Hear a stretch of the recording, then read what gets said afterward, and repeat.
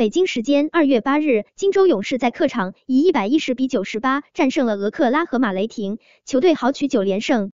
值得一提的是，自从库里对阵火箭的时候怒踹椅子之后，勇士至今为止还没有输过球。值得一提的是，在这期间，德拉蒙德格林一直都因伤缺阵。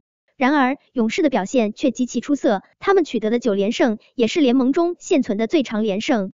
此役，库里的表现不错，他砍下十八分、九篮板、十助攻的准三双数据。在他和汤普森的带领下，球队守住了比赛的胜利。赛后，史蒂夫·科尔也是夸赞了勇士全队的表现。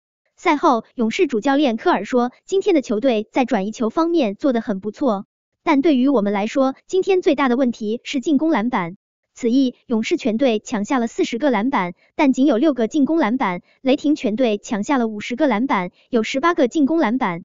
尽管如此，但是勇士仍然取得了比赛的胜利。谈到本场比赛的胜利时，科尔盛赞了库明加的表现。科尔说，库明加的表现十分出色，他对我们在场上所要求达到的目标感到越来越适应了。值得一提的是，库明加替补出战二十三分钟，他十一投六中，砍下十六分、四篮板、四助攻。